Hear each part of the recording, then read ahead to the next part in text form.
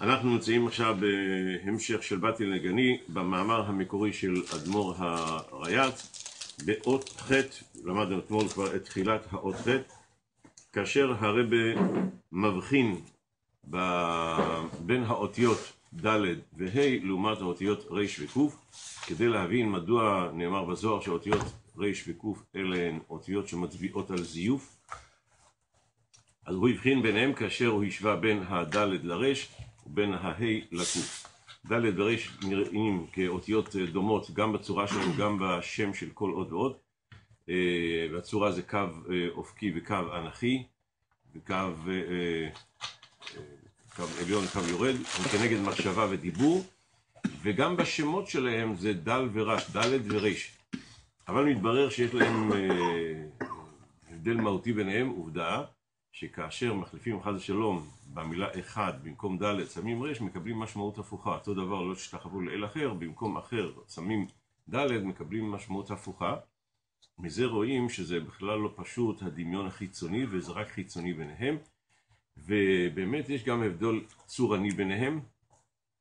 כאשר לד' יש איזושהי בליטה מאחורנית, כאין י' קטנה, והי' הקטנה הזאת היא המשמעותית ביותר. י' זה אות שמצביעה על הקטנה עצמית, אז עירת גרמה, מבטאת את העניין של ביטול, ספירת המלכות דלת למגרמה כלום, זה עושה אותה לאות של קדושה, המוכנות לקבל, הידיעה שאני, כמה שאני יודע, אני לא יודע, והאיש משה ענב מכל האדם אחרי פני האדמה, וזה מבטא שד' זה מחשבה ודיבור של קדושה.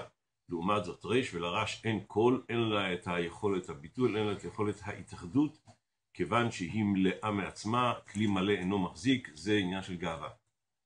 מה קורה כאשר האדם לא רק חושב ומדבר, לא רק הוא בבחינת ד' אלא גם מבצע, עושה את הפעולה בקדושה, אז הרגל, סליחה, היוד של מאחורי הד' היא עוברת כביכול לחזית של הה'. זה הרגל השמאלית של האות ה', שהיא כנגד עניין המעשה. מחשבה, דיבור ומעשה. מד' זה התפתחות לה'. בק' נהיה מצב יותר גרוע, זה מצב אחר. המחשבה והדיבור של טומאה הופכים להיות מעשה של טומאה, שאז הוא לא נהיה אז רגל קצרה, כמו ה', אלא נהיה רגל ארוכה, ארוכה, ארוכה, למטה, מטה, מטה, רגליה יורדות מוות.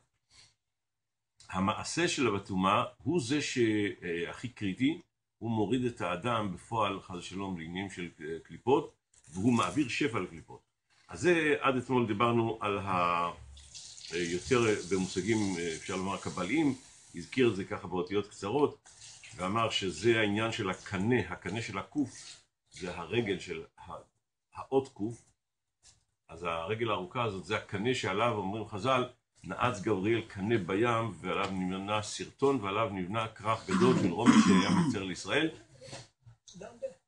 שהכוונה היא כששלמה נשא בת פרעה זה לא היה אה, כדבעי, לא היה כמו שצריך כי זה לא היה גיור אמיתי. כל פנים סופו העיד על תחילתו. ואז זה התברר שכבר מראשית הדרך בלי שהתכוון אבל שלמה העביר, אנחנו מעבירים שפע לדברים שליליים, שהתוצאה היא שזה חוזר כבומרנג אה, וכולי. אנחנו עכשיו בעמוד י"ב, ביור העניין על דרך החסידות. כל השלושת הקווים האלה, מה זה בא לבטא? אה, בעמוד י"ב, שניים. שש שורות מלמעלה, סליחה, כן, שש שורות מלמעלה. וביור העניין על דרך החסידות הוא בתורת הקבלה או בשאר הדרגות שבתורה אז כל אות, כל דרגה שבתורה יש לה את העניין שלה, את הציוריות שלה. היא בבחינת הכלי. האור זה תורת החסידות. היא המחיה כל רובד בין ארבעת הרובדים האלה, פשט רמז דרש סוד. ולכן הוא מסביר עכשיו על דרך החסידות. והנה הגימל הקווים של האות ה' הם כנגד גימל לבושי הנפש, מחשבה דיבור מעשה. אנחנו לא רואים את הנפש שבאדם, אנחנו רק מזהים את התוצאות של נפש האדם, מזהים את התנועות של הגוף, אז אנחנו מבינים שיש כאן חיות, רואים שאין ריקבון, יש גם התפתחות, אז לכן לנפש ישנה לבושים באמצעותם היא מתגלית, תחילה מתגלית לאדם עצמו, מה יש לי ברעיונותיי? מה יש לי בחוכמתי ובשכלי, אז זה באמצעות המחשבה. באמצעות הדיבור אני מתגלה לזולת, מגלה את המחשבה, המוחין והמידות שלי, ובאמצעות המעשה אני מגלה את הרחשי ליבי, את כל מה שיש לי בנפש, מגלה לעולם. מזיז את זה, מקרב את זה. לכן לבושי הנפש הם מחשבה, דיבור ומעשה. זה בעצם עיקר העבודה שלנו, כי לשנות את המהות שלנו זה קשה, זה למעלה מהכוחות של הבינוני, הבינוני עיקרו לעבוד עם הלבושים, ולכן חיי היומיום, מה שבא לידי ביטוי זה הלבושים של הנפש. אומר הגימל הקווים שבאות ה' זה כנגד מחשבה, דיבור ומעשה, ולכן הקנה השמאלי באות ה' ולהדר זה בקוף, באות קוף, הוא נפסק מהשני קווים, להורות שהמעשה הוא נפסק מדיבור מחשבה. אנחנו, אה, כל אחד מהשלושה לבושים יש לו את המיוחדות שלו, אבל אנחנו חייבים להודות שיש איזושהי קרבה בין מחשבה ודיבור בהבחנה ממעשה. הוא מסביר, הגם של מחשבה הוא לבוש המיוחד, הוא לבוש המאוחד עם הנפש, אי אפשר לעצור את המחשבה. דיבור אפשר לעצור, מחשבה אי אפשר לעצור, עת לחשות ועת לדבר, אבל מחשבה אתה לא יכול לעצור, אתה רק יכול להחליט על מה תחשוב המחשבה. אז לכן המחשבה נקראת לבוש המיוחד עם הנפש, ומזה לומדים שגם כן ה... זו הבעייתיות הגדולה של הרהורי עבירה, כיוון שהם הכי קרובים לנפש, אז ההרהורים שבעבירה חורצים את החריצים הלא טובים, אם זו מחשבה לא טובה, חורצים את החריצים החיוביים לנפש, אם זו מחשבה טובה. אבל זה לבוש המיוחד עם הנפש, ולכן צריכה להיות זהירות מאוד מאוד גדולה בעניין הזה של החשיבה. אז זה אומר אף על פי שהמחשבה הוא לבוש המיוחד ואילו דיבור הוא לבוש של הנפש אבל לבוש הנפרד אור זה לבוש המיוחד אבל בגד זה לבוש הנפרד אור אתה לא יכול להוריד אותו, אה? אור? את האור שלך הוא לבוש של הגוף אתה מדבר אור? אור, אור, אור של הבן אדם אתה לא יכול להוריד אותו אין לך ריץ' רק להוריד את האור וזה רק לנחש יש דבר כזה מה יש לנחש?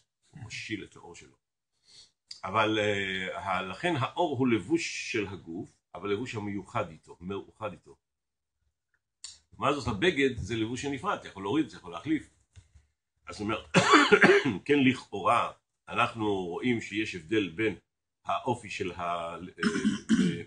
ברמת הלבוש של המחשבה לעומת הדיבור, ולכן המחשבה הוא רק לעצמו והדיבור הוא אל הזולת. בכל זאת הרי הדיבור הוא בערך על המחשבה. יש יותר קרבה אל המחשבה מאשר אל המעשה.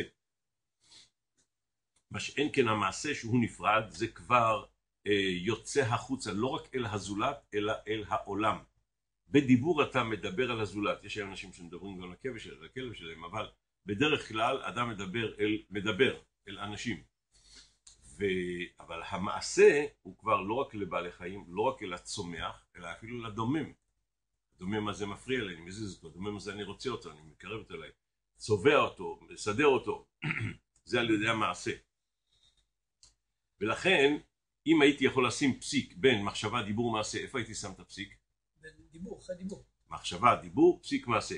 ויש לזה ראיה גם מן הכתוב. וכן הוא גם בסדר. מעשה לא קשור למחשבה. איך, איך? סוף מעשה במחשבה תחילה. לכן יש בחינה מסוימת שבזה המעשה הוא למעלה מהמחשבה. אבל גם אז הוא למעלה מהמחשבה. אז בכל מקרה הוא, הוא, הוא שונה מהמחשבה. למעלה במעלה. למעלה במעלה. זה לגבי השאלה איך לסדר אותם, אבל בכל מקרה הפסיק יהיה בפשטות בין אחרי מחשבה דיבור יהיה מעשה. דכן הוא גם בסדר עולמות, כלשון הפסוק, דכל הנקרא בשמי ולכבודי, לכבודי זה אצילות, בראתיו, יצרתיו, אף עשיתיו. רואים מכאן שאחרי בריאה ויצירה יש בזה מילת ביניים, אף, ואחרי זה המילה עשיתיו. מדוע? דבראתיו הוא בריאה, עולם המחשבה, יצרתיו, עולם היצירה, עולם הדיבור, ובעשייה הוא אומר אף. אף הפסיק העניין. זאת אומרת שזה המימד הגשמי, עולם העשייה, וכל השאר זה מימד רוחני. כאשר יש הבחנה שזה רוחניות גבוהה, זה רוחניות יותר נמוכה, אז יצירה זה רוחניות נמוכה, בריאה זה יותר גבוה, אבל כל זה בעולם, מבחינתנו עולם הבא. לכן, יש פעמים ששמים את הפסיק בין אצילות לביאה. אצילות וכל השאר, ביאה. יש פעמים ששמים את אצילות בריאה היצירה, פסיק ועשייה. כשאתה רוצה לאבחן בין גשמי לבין רוחני, אז מעל העשייה אתה שם פסיק וכל השאר. כשאתה רוצה לאבחן בין אלוקות לכל השאר, אז אצילות וכל השאר. זה מאוד קיצוני, כאילו. איך? קיצוני. כן. ודאי שיש הבחנה בין עולם לעולם, אבל מבחינה מסוימת כשאתה רוצה ליצור חלוקה כללית, אז, אז הוא אומר דעה אף הפסיקה עניין. אז רואים מכאן שלכן גם כן באות ה' הקו העליון הוא מחובר עם הקו התחתון, הקו האופקי מחובר עם הקו האנכי, מחשבה ודיבור, אבל הרגל של הה' היא לא מחוברת עד הסוף למעלה. אז הייתה נוצרת לנו איזה אות? נום. חטא. אם היא הייתה מחוברת עד למעלה, יש לה הפסק, והוא לא מקרי, משום שהמחשבה ודיבור הם חברים, מחוברים, ואילו המעשה הוא חייב להיות בהפסקה מסוימת. מדוע? אחרי שאדם חושב ומדבר על העניין, לפני שהוא ניגש לבצע, תחשוב עוד שנייה אחת, תעצור שנייה אחת. האם זה נכון בכל אופן? משום שהמחשבה הזאת, מחשבה, דיבור, טק, מעשה, זה החיפזון הוא מה... מה, אותיות הן כל וזה- כך אה, קשורות לנפש? אני רואה אותיות, הכל קשור לנפש. מה- בגלל זה הרמב"ם כותב על העניין של דיבור.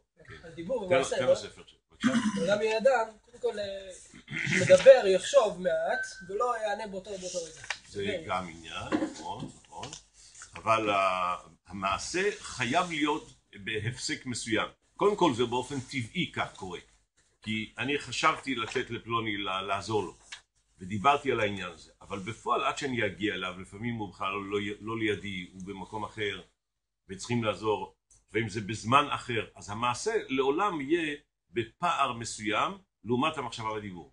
איך זה מסתדר פה מה שאומר שאף לפי מה שהרמב"ם אומר שאדם, ברגע שהוא לעולם יענה אדם על... אה, שואל אותו משהו.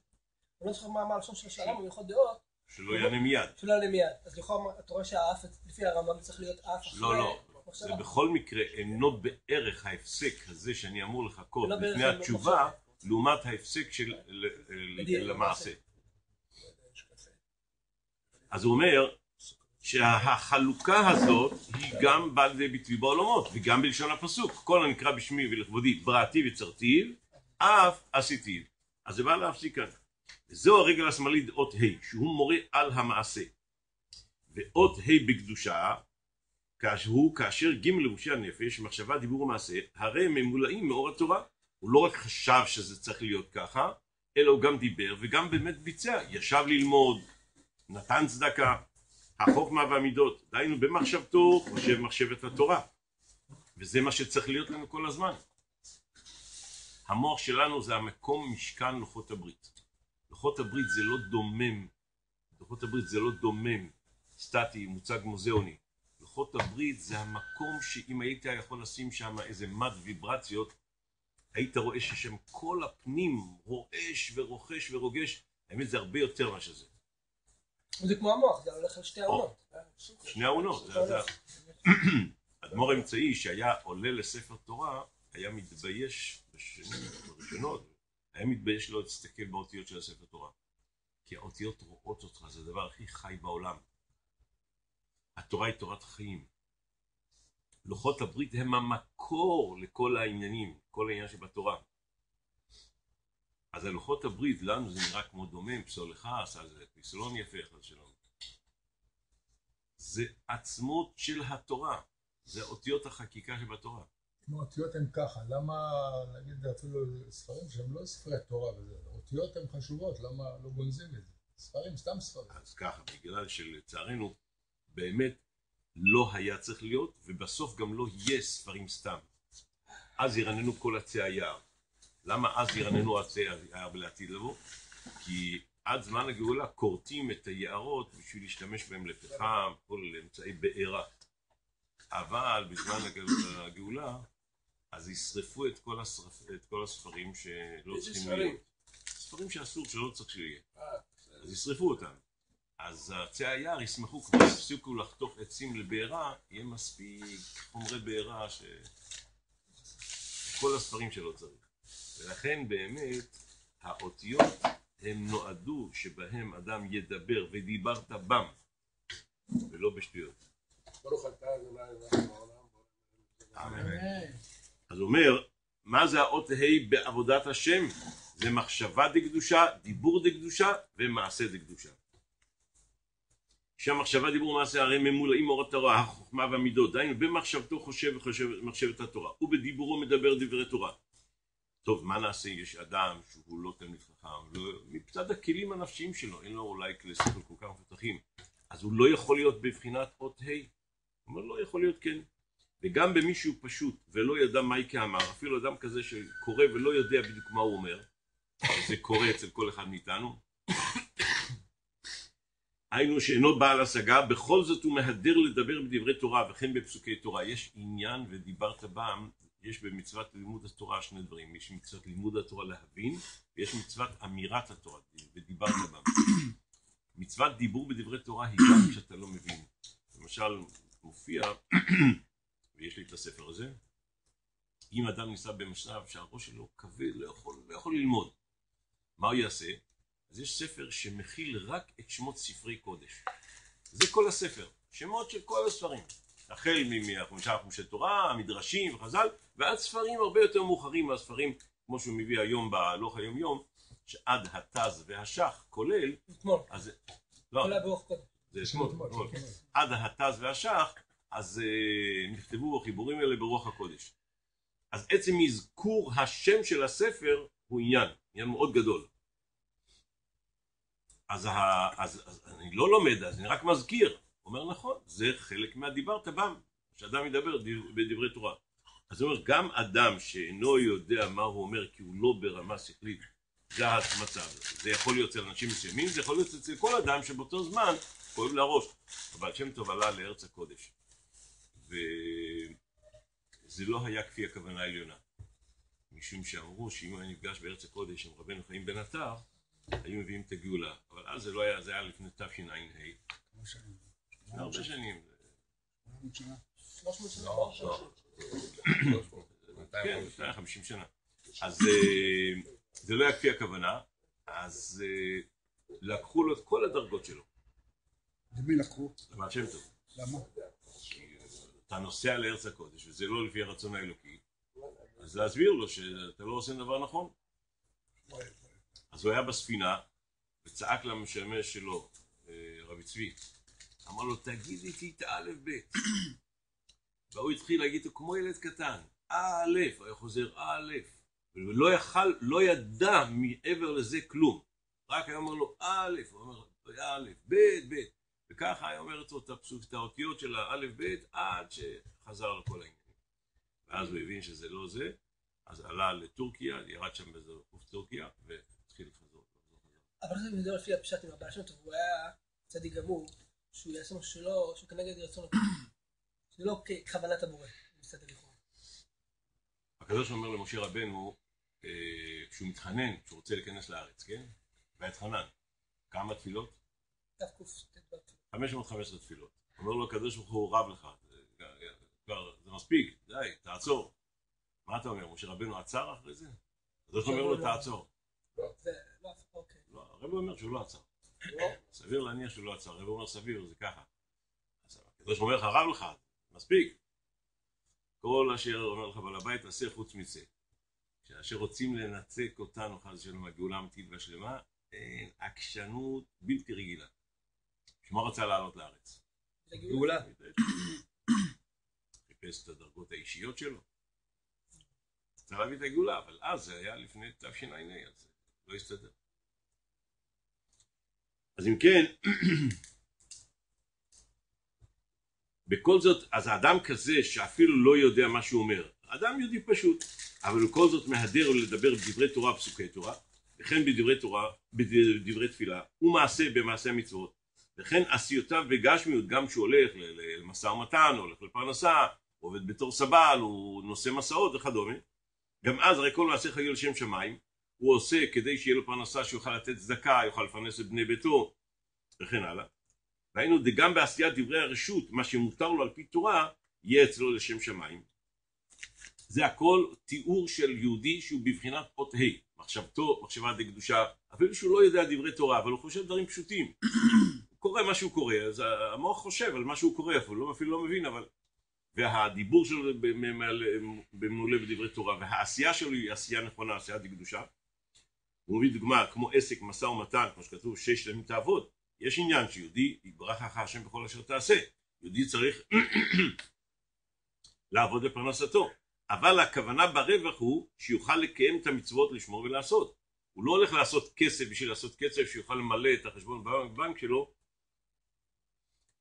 כמו מצוות צדקה וגמילות חסדים. וכן בכדי שיהיה מוחו וליבו פנויים לעסוק בתורה, ללמוד וללמד ולשמור ולעשות את זמני קביעות העתים לתורה ועבודה שבא לי בתפילה. כאשר עושה כן, הנה מלבד זה אשר מרוויח זמני הלימוד ומכהן נפשו ממש ומאירה באור התורה והתפילה. אדם שלוקח את העבודה בערבון מוגבל, הוא לא מכור לעניין, אלא הוא יודע שהיא רק נועדה לשם משהו. כמו בכל עניין, כשאדם הוא נורמלי, אז באמצעי הוא מתייחס לזה כאמצעי, ולעיקר הוא מתייחס כעיקר. כשאתה מקלף מלפפון, כל הנקודה היא בשביל שיהיה לך מלפפון שתוכל לאכול אותו. הלקלף הוא רק אה, בדיל ויעבור. אבל כשאדם עושה מהקילוף, הוא עושה את כל העניין, אז מה עשית? בחיי היומיום יש מצב שאדם נתפס לדברים השוליים ועושה מהם עיקר. אבל האדם הזה שהוא מתאר אותו שהוא בבחינת אות ה' הוא לא כזה, אלא האדם הזה הוא באמת מחשבתו דקדושה, דיבורו דקדושה וגם מעשיו דקדושה. מה זה מעשיו? אבל הוא הולך לעבוד בתור uh, פועל, דרך חינמי. גם בהיותו בתור פועל אז הוא יודע שאני עובד כדי שיהיה לי כמה לראות שעם זה אני אוכל לתת צדקה. אני עובד באופן מוגבל כדי שאת זמני הפנוי מיד אחרי עבודה או בין זמנים פנויים בעבודה אני מיד מנצל לקדושה. אם זה לאמירת פרקי תהילים או לדבר עם פלוני, תשמע יש שיעור במקום מסוים, תבוא לשיעור. אתה מנצל גם את ההפסקות בעבודה למבצועים וכדומה, אז האדם הזה בבחינת אות ה'. זה מבחינת בינוני לכאורה. הוא יכול להיות בינוני, יהיה חינמי. הוא בבחינת אות ה'. ה' זה יש לה שלוש קווים, מחשבה, דיבור ומעשה. אבל זה בקדושה. לעומת האות ק' שזה מחשבה, דיבור ומעשה, אבל בטומאה. מדוע? כיוון שהמעשה בטומאה הוא הכי מוריד את האדם למטה, זה הציור של הרגל של הקוף, שעל זה נאמר רגליה יורדות מוות. זה הקנה שנעץ גבריאל קנה בים, ועליו נבנה סרטון, ועליו נבנה כרך גדול של רומי, שהחריב את בית המקדש. אני יכול להגיד שהקוף זה גם מתחיל, אמן. זה הלשון של קליפה. אוקיי, יפה. זה גם קדושה. כן, איך אתה מסתכל על איך אתה מסתכל על הקוף. הקוף זה הולך הלאה. אז הוא אומר, והנה עוד זאת, כאשר עצם המשא ומתן שלו, כאשר הוא לשם שמיים הוא כדבעי, לפעמים אדם אומר, תשמע, אני לא תלמיד חכם, אני לא יכול לשבת כל יום בקדושה, מה צריך, אני יכול, אני, אני עובד בזה עבודה כלשהי. אדם יכול להפוך את העבודה שלו למקור עילוי רוחני בלתי רגיל. עוד יותר מאשר סמך זבולון בצאתך ויששכר באוהליך. מה שיששכר משיג על ידי, שהוא יושב באוהלה של תורה, זבולון משיג על ידי ההתמודדות עם החומר, עם העבודה בעולם. שאדם לא יאמר שכיוון שאני עובד בענייני העולם אני לא יכול להתעלות. אדם שמקפיד משא ומתן באמונה. חפץ מספרים עליו שהיה לו חנות מכולת, אבל תמיד היה מוסיף לקליינט שהיה שוקל, מוסיף לו עוד כמה גרמים. שלא, חס ושלום, שלא רימיתי אותו באיזה עניין. תמיד נותן יותר ולא פחות. אני גם במירון. לא לדבר על אלה ששמים במשקלים גומייה בשביל... אה, פעם. מעניין, אבל העבודה של ה- של זבולון היא יותר קשה משכר. העבודה שלו ב- ב- במשא ומתן, לכאורה. עבודה של מי? של זבולון. חינם. אם לא תגמר רבי מאוד. שזה קבעו את אופי נשמתו של זבולון, שיהיה תואם לעבודה הזאת, כל אחד תואם לשליחות שלו. שים את התמונה של חפץ חיים בחנויות. יפה, אתה תשים תמונה של הרבי שלי, תאמר לך משיח. אין לי משהו אחר. בדיוק. אז אה, כאשר עצם העסק, המשא ומתן שלו, כאשר הוא לשם שמיים כדבעי, במילא הרי הוא נזהר מהונאה וגזל, מרמה ושקר, והרי יודע אשר כל אלה שנא הווי. באמת, בשקרים, אז ברגע הראשון יש רווח, אתה סופר אותו, רווח גדול, אה? אבל תסתכל קצת לאן זה הולך. ואז אתה רואה לא רק שהכסף הזה שהרווחת שלא כדין הוא הולך, אלא הוא גם לוקח את כל המסביב. לכן הבן זוג של השקר זה הפחתא. הפחתא זה הנזק. הם הולכים תמיד ביחד. מה שמגיע, מה שהשקר מביא, הפחתא לוקח, נזק הולך. ואני שמעתי, אם אני לא טועה, שמי שיש לו את האפשרות לשבת ללמוד כל היום, והוא לא לומד, אפילו שנייה, אפילו רגע אחד, הוא חייב קרב. וואי, הגזמת לגמרי. אני שמעתי, זה לא ראיתי את זה. אה, אה, אתה תוציא עלינו שמעתי את זה, אני- אני שמעתי את חוזים, זה. אל תוציא עלינו לא, לא, חוזים. שמעתי את זה לפני... תימני, לא יכול להיות שאתה תעשה את זה. בדיוק. אז מה אם אני לא אה, שכן, יהודי. צריך ללמוד, חבל על הזמן, כי זה כמו אוויר לנשימה. מה, תשמע, לא צריך לה- להגיד לבן אדם, תשמע, אם לא תלמד, אז- אם לא תנשום, אז לא צריך להגיד לו את זה. הוא לבד יודע שאם הוא לא נושם, אז אה, כי, למה גם אני אומר את זה? אם אתה מתבונן, אדם שהוא כל הזמן מתעסק במשא ומתן, כל השבוע הוא מתעסק במשא ומתן.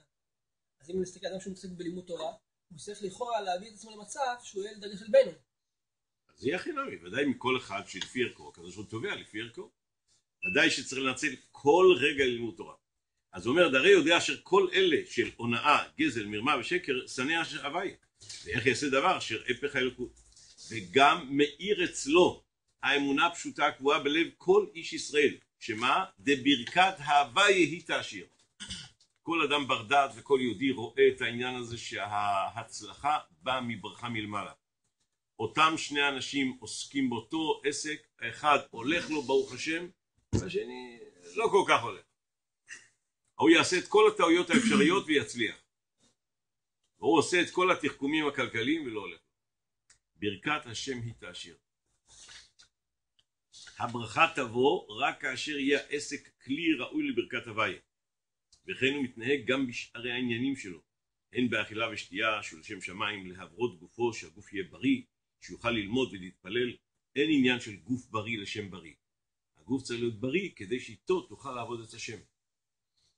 להתפלל ולעבוד את השם בקיום המצוות, איש איש לפי מהותו מדרגתו, אין כאן מבחן אה, אובייקטיבי מוחלט, אלא זה תלוי מאדם לאדם.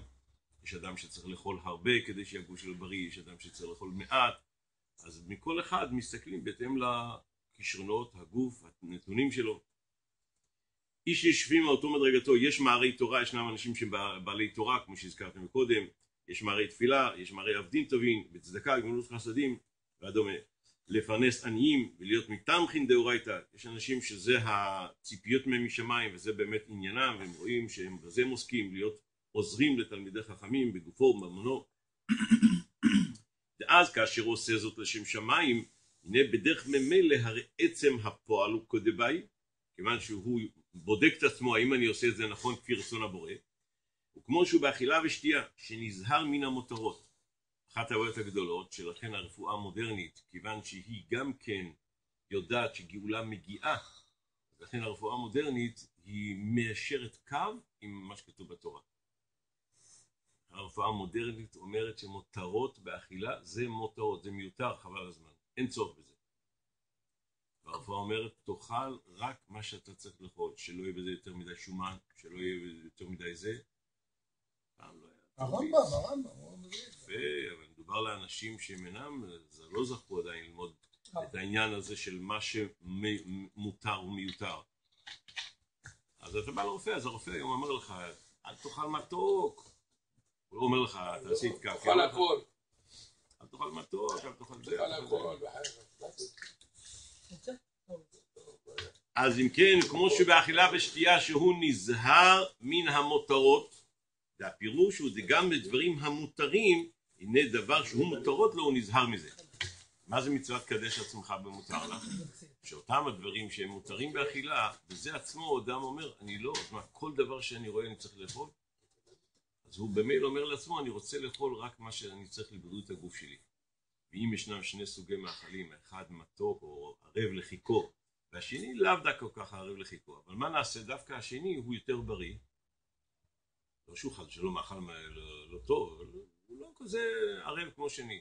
אז יהודי צריך לבחור במאכל הבריא ולא במאכל הערב לחיך. משום שמהערבות לא יוצא שום דבר. מהבריאות יוצא דבר שהוא מאפשר לך לעבוד את השם. ולכן העבודה של האתקפיה, פעולת האתקפיה וקדש עצמך במותר לך, היא על כל תחומי חיי האדם. אז כל דבר שהוא מותרות לו, הוא נזהר מזה, מאחר שאין עניינו למלא תאוות נפשו. כי משהו לצורך קיום גופו וחיותו. וכן גם בשארי הדברים שהוא עוסק בהם, אז בכל עניין הוא מחפש מה העניין, מה התכלית, לשם מה אני עוסק בעניין הזה. מה העניין? יש אנשים שלא נותנים לעצמם דין וחשבון מה העניין. אז מסתכל כל מה שרק אפשר. פיזור הנפש. מה, מה יוצא מזה? יש יהודים ש... יושב מהבוקר, זה הסדר יום שלו, יוצא החוצה לעמוד ולהסתכל על הדברים ושווים. נו. מה התכלס? נו. לעומת זאת, אם אותו אדם יבוא וייכנס לבית כנסת, יש זמן משהו שהוא יכול להבין, יש משהו שהוא לא יכול להבין. גם אפילו מה שהוא לא מבין, אבל הוא נמצא באווירה דקדושה. לא יימלט... בבקשה? קדושה של בית כנסת. שעה של בית כנסת. לא יימלט שמשהו ייכנס לו. לא יכול להיות שלא ייכנס לו משהו. אדם שמסתובב בחנות של צבעים, לא יכול להיות שלא ידבק לו קצת מהצבע. ולכן אומר גם גבאי צדקה וכדומה, אז uh, הנה דבריו הם בנחת ובקירוב הדעת, ואף שלפעמים הוא בחוזק גדול, כראשי תיבות אנא בכוח גדולת ימינך, מה זה ראשות אנא בכוח גדולת? כמה גדולה. איך אמרת? זה העניין של גבאי צדקה צריך להיות אה, בתוקף מסוים, אבל צריך להיזהר. כיוון שהתורה נתנה לו את הסמכות בתור גבאי צדקה, גבאי צדקה זה לא ככוונה רק אוסף, אלא גבאי שאחראי על כל מיני עניינים, זה גבאי בית כנסת וכולי, אז התורה נתנה לו סמכות, וכן, אתה זכאי לדרוש בתוקף, אבל צריך להיזהר מזה, שזה לא יהיה תוקף לשם תוקף. יש אנשים שזה טבעם, שברגע שאתה מאפשר לו להיות בסמכות, וואו וואו וואו, חבל על הזמן. מתנפח. מה זה מתנפח? עבד קימו. עבד כי אם לא. אז הוא אומר לא, צריך להיות באמת בתוקף, אבל זה גדולת ימינך, בתוקף של ימין של הקדוש ברוך הוא, שזה חסד. צריך לעשות את זה בצורה שהשני לא ייפגע וכולי. כמו גבאי צדקה ואדומי, הרי דבריו הם בנחת ובקירוב הדעת, ואף שלפעמים הוא בחוזק גדול, לעמוד על איזה דבר בתוקף גדול. אומר, תשמע, אתה חייב לתת, כי, כי המוסד עלול ליפול או המשפחה הזאת זקוקה לאוכל וכולי וכולי, אז הוא גם תובע, ובפרט שיש עניין שאדם שנמצא בעיר מסוימת, אז uh, כופים על הצדקה, מעשים על צדקה.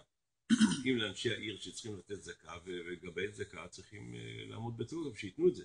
אבל זה עצמו צריך להיות בדרכנו עם. על איזה דבר בתוקפו, שיהיה הדבר נעשה ההוא בהידור והדומה, וכל זאת הנה מדבר בנחת ובדברי טעם. הוא מתרחק מהגאווה, נתנו לו סמכות, הוא מתרחק מן הגאווה עד קצה האחרון.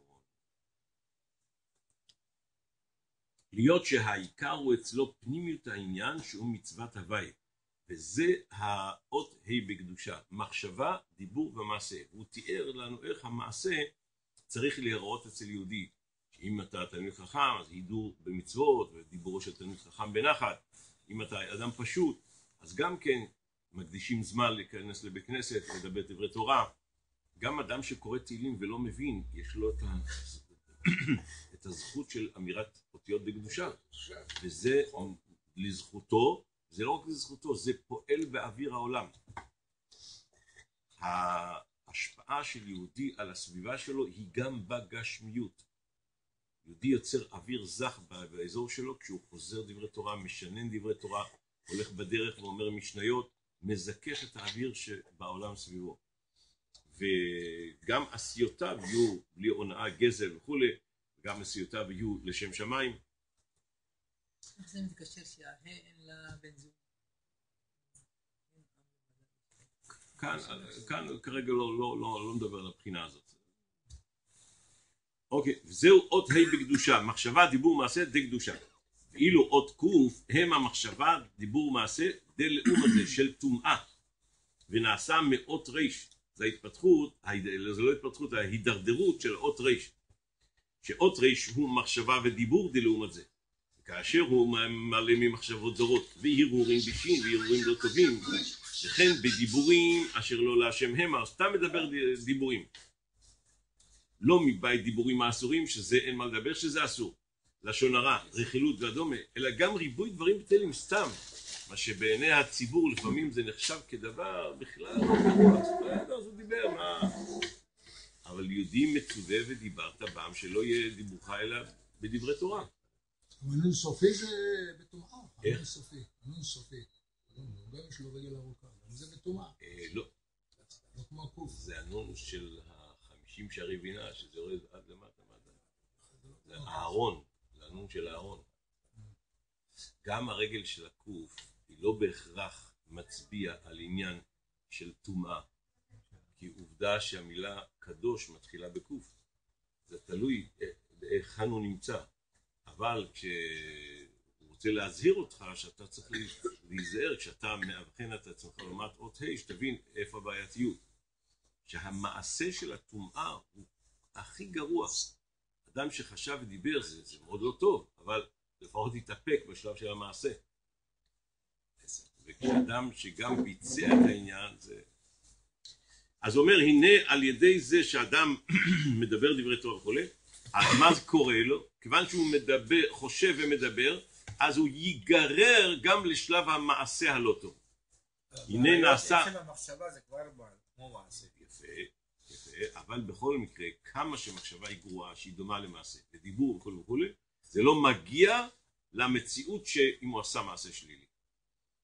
הנה נעשה על ידי זה קנה הקוף שהוא המעשה, דהיינו שנופל במעשה לא טוב רחמנא ליצלן, זהו קנה הקוף שיורד למטה, והוא שעל ידי מעשה לא טוב, הרי הוא יורד מטה מטה. הוא בא מהמחשבה והדיבור הלא טובים, והם מביאים את האדם לידי עשייה לא טובה.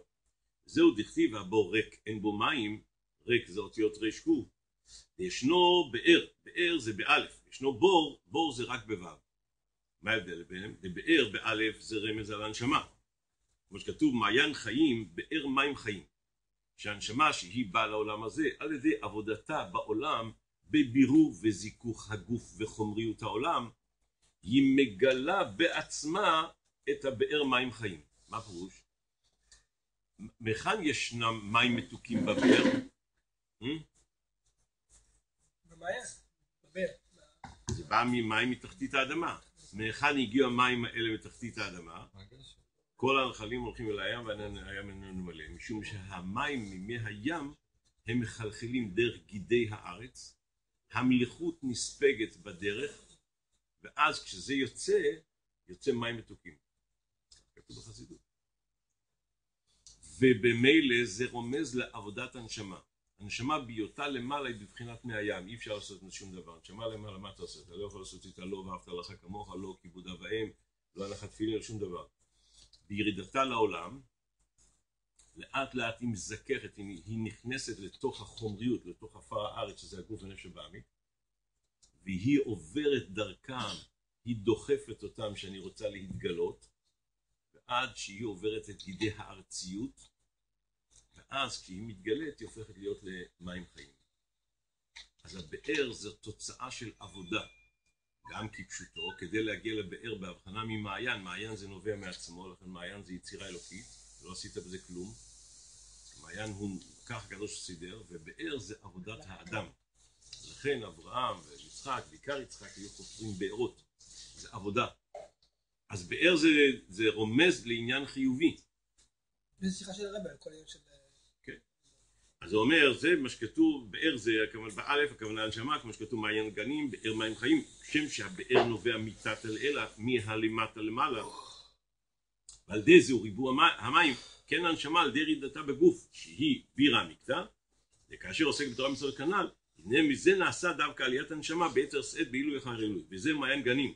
ידי שהנשמה בבחינת באר הנובעת בגילוי אלוקות, על ידי עבודתה בבירור וזיכוך הגוף ונפש הבעמית, הנה מזה נעשה המעיין בגנים, גן, גן עדן, גן עדן תחתון, גן עדן עליון.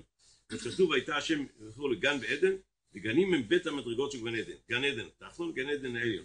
והוא שקיה דמאיה, נחל, המים, השקיה, אה, מים שזורמים, דנחל התענוג שנעשה לנשמות בגן עדן למעלה אבל הבור ריק, ריק אותיות קוף, דרק הוא בו. זה שאמרו הז"ל, ממשמע במסכת שבת, ממשמע שנאמר והבור ריק, איני יודע שאין בו מים, אמרת הוא ריק, אז ברור שאין בו מים, למה צריך להדגיש את זה? מה התלמוד לומר אין בו מים? לומר לך מים אין בו, אבל נחשים ועקרבים יש בו. וזו תוצאה בלתי נמנעת. ברגע שאין בו מים, אין מים אל התורה, הראש מלא במחשבות של שטויות. חבל הזמן. והבור ריק, והבור שהוא הנפש הבאמית, מים אין בו, אבל הוא ממולא מנחשים ועקרבים, שהם מחשבות זרות וכו'. וזהו הקוף שהוא, שהם כקוף בפני האדם. אומר האות קוף באמת רומזת לכקוף בפני האדם, שזה לא קדושה אלא זה רק הלעומת זה. והאדם הוא מחשבה, דיבור ומעשה. א', מחשבה, פלא. והדלת מ', דיבור ומעשה. א', מחשבה, דלת מ', דיבור ומעשה. אבל קליפה הם רק כקוף בפני האדם. זה בקדושה, מחשבה ודיבור ומעשה ממולא אמיתית מאור הקדושה. כאילו בסטרא אחא זה ממולא מחשבות זרות שאין בהן טעם ואין בהן ריח ולא יוצא מזה שום דבר. זהו שאיתה בזוהר, שנטלין אות שין, שהוא מה שלוקחים הערה דהערה מהערת החיות בקדושה, וזהו הקיום שלהם. קיצור, בקדושה נעשה מדלת ה', ממחשבה ודיבור ומעשה, ממחשבה ודיבור בא למעשה, שכולם ממולאים בתורה מצוות. ואילו בסטרא אחרא זה הידרדרות מריש נעשה ק'. ממחשבה ודיבור דלעומת זה נופל במעשה הלא טוב, ואנחנו צריכים רק לעסוק במעשים טובים, ולכן אנחנו אומרים יחי אדוננו מורנו ורבנו מלך המשיח לעולם ועד.